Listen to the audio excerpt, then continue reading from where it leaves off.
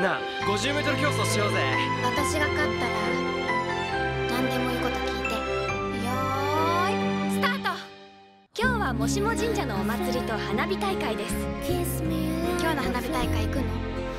二人で行こうよ。もしもしもあの時俺が。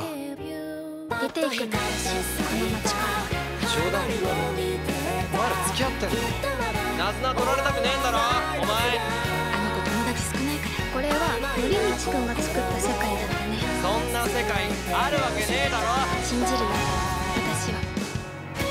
全部私のせいなのナズナナズナ頼道がもしも俺が絶対ナズナに好きって言うからナズナは俺が取り返す。分かってるこんなことしても無理だってでもでももしももしももしもお前がいなくなるとしても